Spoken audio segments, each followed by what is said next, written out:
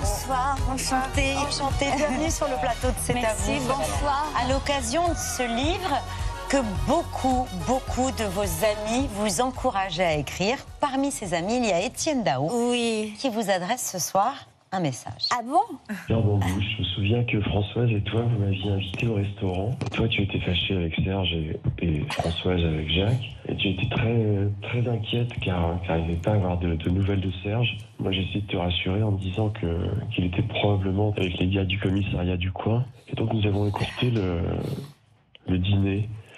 Nous sommes retrouvés chez Serge, qui était un petit peu, un petit peu chaud. Et il a fait une espèce de, de crise. Il était assez mal. Françoise et moi n'avons pas dormi de la nuit, mais il paraît que le lendemain, Serge s'est réveillé en sifflotant du Claude François à Alexandrie Alexandra, qu'il était tout guiré. Donc voilà. Tu te souviens de ça? Ah Je oui. crois que c'était Françoise Hardy. Oui, je sais. Oui, je me souviens de ça. Et moi, j'ai veillé Serge toute la nuit parce que je m'inquiétais, quoi.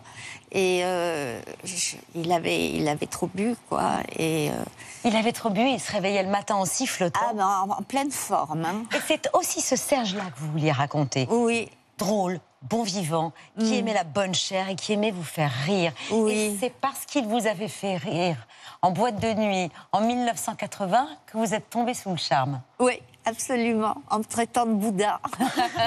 Il faut dire que vous l'aviez traité de vieux con juste avant. Oui, c'était réglo. Quand vous le rencontrez, Gainsbourg est en train de se transformer en Gainsbar. Euh, il va pas bien, il souffre de sa séparation avec Jane Birkin, il multiplie les scandales, c'est le temps du, du billet euh, brûlé euh, à la télévision, euh, des Marseillaises en reggae, des engueulades sur les plateaux de télévision. Vous en parlez comme face à Guy Béard à propos de la chanson Art mineur ou Art majeur, Oui. décembre 86 chez Bernard Pivot. Extrait. un art majeur demande une initiation. Pas un art mineur comme ce que les, connards, les conneries que nous faisons, nous. Mais quel est Hein le- euh, pour le surréalisme, qui vous avez C'est influencé mineur, une chanson. Mais si, C'est mon petit gars. majeur- Mais si, mon petit gars. Mais qui s'y a le connard, là Ah non, c'est Béard qui te parle. Oui, mais j'ai bien compris. En quoi est-ce que c'est mineur, une chanson? Ça rencontre Oui, des c'est gens mineur. C'est Mais mineur non, il n'y a parce rien de être- mineur. Tu... Parce que si, si parce tu viens- la peinture... Tu n'as pas besoin d'initiation. Mais tu as besoin pour la chanson. Et la chanson faisons- qui est initiée dès Nous ne faisons pas de la dès poésie. Non, il n'y a pas d'art mineur. Et ce n'est pas la peine de faire de la chanson en disant que c'est mineur. Sinon, je ne serais pas là. Vous racontez dans votre livre que ces provocations étaient généralement calculées, euh, préparées, mais ce qu'on entend dans cette euh, engueulade et dans ce différent avec Guy Béard, c'est que Gainsbourg, au fait, souffrait de ne pas être reconnu comme le grand poète ou le grand peintre qu'il aurait voulu être, parce que la poésie et la peinture sont, à ses yeux, des, Des arts, arts majeurs, ce que n'est pas la chanson. Mm, mm. C'est ça. Mais euh, jusqu'à la veille de sa mort, il pensait qu'il était un vieux con qui écrivait de la merde. hein. Il avait une très basse opinion de lui. Euh, il pensait qu'il avait lâché la peinture pour euh, faire quelque chose de facile, quoi. Pour Et qui était loin, ouais, qui était loin d'être un art majeur. Ce qu'on comprend bien en vous lisant, Bambou, c'est qu'il a trouvé en vous quelqu'un qui le comprenait, sans avoir à lui parler. Vous vous aimiez, vous vous disputiez, et vous l'écrivez très joliment, vous vous êtes sauvés l'un l'autre. Vous dont on découvre dans ce livre l'enfance cabossée, une enfant de l'assistance publique née en France, dans un camp de réfugiés chinois et vietnamiens, mais placée dans une famille d'accueil dans le Morvan. Vous racontez les coups, les brimades, les humiliations, les corvées, les soirées sans manger, vos deux tentatives de suicide enfant. Rares sont ceux à l'époque qui vous tendent la main, mais vous êtes bon élève, vous vous réfugiez dans les livres. C'est cette enfance douloureuse qui a façonné la jeune fille timide, voire taiseuse, qu'on a découverte aux côtés de Serge Gainsbourg au début des années 80. Oui, absolument. Euh, quand vous êtes enfant et que vous avez euh, tout le monde contre vous, vous savez que c'est pas vos parents, vous savez, vous vous posez des tas de questions, vous n'avez pas de réponse et vous apprenez quoi à vous taire et euh, à faire euh, comme si de rien n'était, quoi. Voilà. Votre nom de naissance est Caroline Paulus. Elisabeth. Mais quand Serge Gainsbourg vous offre ce surnom, Bambou, il vous offre une nouvelle identité. Absolument. une renaissance, Oui. un nouveau départ. Et deux ans, je crois, après votre rencontre, vous apparaissez à ses côtés dans une scénette imaginée pour la télévision, une séance photo Ah À oui l'époque, vous êtes mannequin. euh, et lui joue au photographe. distribue les swings et les uppercuts. Ça fait, ça fait, et ça fait, ou bien, ou parfois même. Vous qui aviez du mal à vous trouver belle, son regard à lui vous en a convaincu.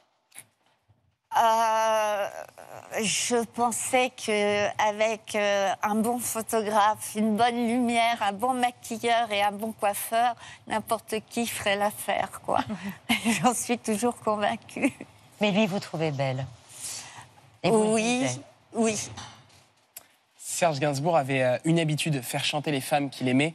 En 1986, vous entrez dans le Cercle des Trois, B, euh, Bardot, Birkin, Bambou. Les muses de Gainsbourg, il écrit une chanson sur votre fils et il décide que vous la chanterez.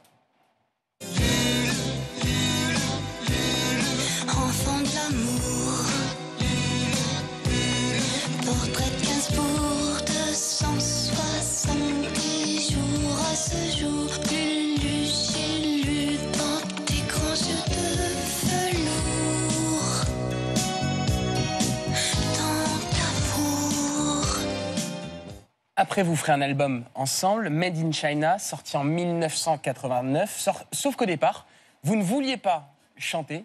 Vous lui avez dit non à plusieurs reprises. J'étais persuadée que je chantais faux, puisqu'on me l'avait dit dès l'enfance. Donc euh, j'avais, j'avais très peur de chanter, quoi. Et en plus de ça, l'enregistrement se passe mal. Ah oui, ça s'est tellement passé mal. Je faisais, il me criait dessus et je faisais n'importe quoi. Et on a dû le sortir du studio. Tellement ça se passait mal. Et j'ai répété toute seule et on l'a fait rentrer. et J'ai enregistré mes deux titres. Lulu est né le 5 janvier 1986. Vous, vous aviez 26 ans. Serge Gainsbourg en, en est si fier d'ailleurs qu'il en parle absolument tout le temps, comme en mai euh, 1986 quand il visite un camp de légionnaires pour la télévision. C'est promis. D'accord, je veux bien. Le petit Lulu. C'est promis. Ça va te coûter cher, mais c'est promis. Allez, Zou, c'est parti. Allez, viens. Allez, on va se mettre à l'ombre. Ouais, Donne-moi la photo aussi. Ah oui, j'ai promis, c'est joué. Il adorait euh, son fils. Vous vous racontez d'ailleurs une scène euh, de vacances dans un hôtel avec piscine. Gainsbourg, qui détestait se baigner, a fini par passer des heures dans l'eau pour faire plaisir euh, à son fils. C'est Serge qui a convaincu l'enfant abandonné, la petite fille qui a tant souffert, de faire un enfant et pour ça, d'arrêter la drogue. Oui, oui. Il disait qu'il avait sauvé une vie en donnant la vie, ce qui était très mignon. Mais euh, pour qu'il se baigne, j'ai dû lui couper ses jeans parce qu'il n'avait pas de maillot de bain. Et il est arrivé, j'ai cru avoir une hallucination. Euh, il avait son attaché-caisse et son- ses jeans coupés avec la ceinture, mais c'est qu'il s'est baigné avec la ceinture. Il a laissé l'attaché-caisse quand même à côté et il s'est baigné. Et tous les jours, il s'est baigné avec Lulu et il s'éclatait dans l'eau avec son fils. Lulu qui est musicien. Oui. Et, euh, et qui est très heureux euh, pour voir régulièrement les vidéos qu'il poste sur les réseaux Mhm. sociaux. Il a sorti un album en 2011, un premier album, des reprises des chansons de Serge Gainsbourg. Il les interprétait sur la scène du Casino euh, de Paris. Et on va voir sur quelques images Jane Birkin qui le rejoint sur scène. Mélodie. Voilà, Oui. Jane Birkin euh, pour chanter Mélodie Nelson, Mm. avec laquelle vous avez été amie. Oui, on a été très proches. Euh, on a passé son dernier nouvel an ensemble. Et j'avais euh, ramené des pâtes et des truffes blanches. Et on a mangé des pâtes avec des truffes blanches euh, râpées dessus. Voilà. Et vous avez des mots très tendres aussi à l'égard de Charlotte Gainsbourg, avec laquelle vous avez partagé la dernière soirée de Serge Gainsbourg. C'était, je crois, le jour de votre anniversaire. Oui.